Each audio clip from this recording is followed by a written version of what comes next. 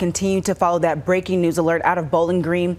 There's a fatal collision involving a vehicle and a pedestrian. Now we've got new details from Bowling Green Police. Now it happened on Hickory Street near Veterans Memorial Lane. Right now, Veterans Memorial Lane is closed from Russellville Road to Tomlinson Way.